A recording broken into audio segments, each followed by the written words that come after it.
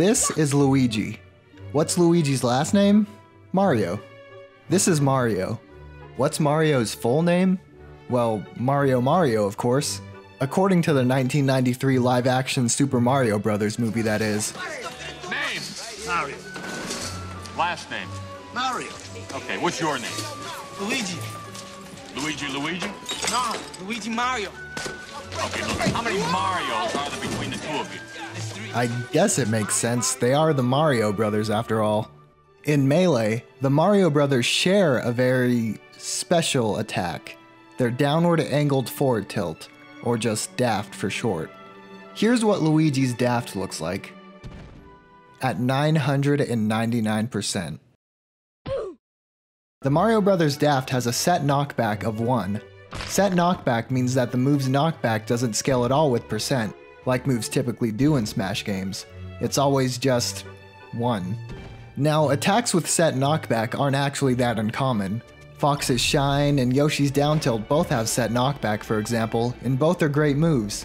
The difference, however, is that Fox's Shine has a set knockback of 80, and Yoshi's Down Tilt has a set knockback of 100.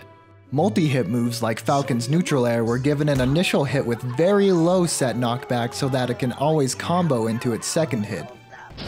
But Mario and Luigi's Daft? This is it. This is the entire move. Its combination of literally one knockback, low hit stun, and 24 frames of ending lag make it one of the worst moves in the game. And this isn't some mistake or bug, by the way. This is 100% intentional. It's meant to be like this. Because not only is Dr. Mario's daft completely normal, but Luigi's daft is still like this in Brawl, while Mario's was changed.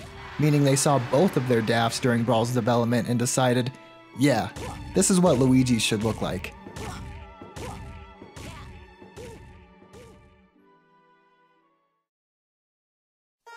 Dude, do you want to get like really high? Check this out. Using a banned exploit called the Luigi Ladder, two Luigis can go infinitely high using their up special.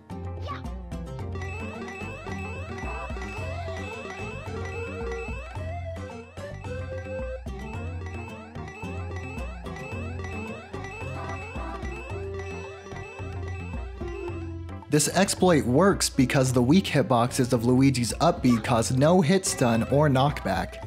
So when one Luigi hits the other with a weak up B, it interrupts their free fall and allows the Luigi that got hit to use their up B in return. The two Luigis then just have to keep interrupting the other's free fall back and forth with their weak up Bs to continue their ascent.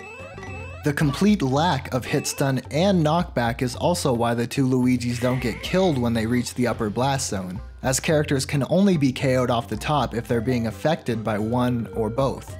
Why is it banned, you ask? Well, in doubles, it can become an unbeatable stalling technique.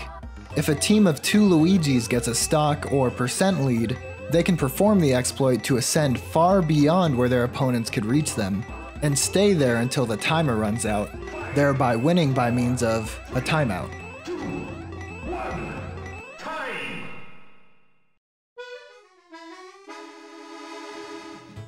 You probably already know that Luigi's wave dash is crazy long, his taunt is the only one in the game to have a hitbox attached to it, and that he's affected by the invisible ceiling glitch a disproportionate amount compared to every other character. Check out my video on that if you want. You also might know that his dash attack is shit. But did you know that it's especially bad because it's missing its final hitbox? Here's what it looks like in Brawl. Every hit before the last is wimpy, with set knockback. It makes sense. These first hits just serve to rack on damage, but the last hit actually knocks your opponent away. But in Melee, the strong final slap just isn't there, which means all Luigi has are the wimpy hits. It's worth noting that unlike Brawl, these wimpy hits don't have set knockback, so they actually send your opponents further as their percent increases. But even at 100 plus percent, its knockback is just embarrassing. Maybe the developers intended to have a strong hit in this move, but they messed up the hitboxes somewhere along the way. Maybe they even just forgot to add it at all. And if that's the case, then bravo, Hal. Bravo.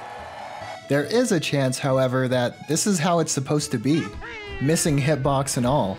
I mean, these are the same developers who made this move on purpose. Whatever the case is, thanks for watching.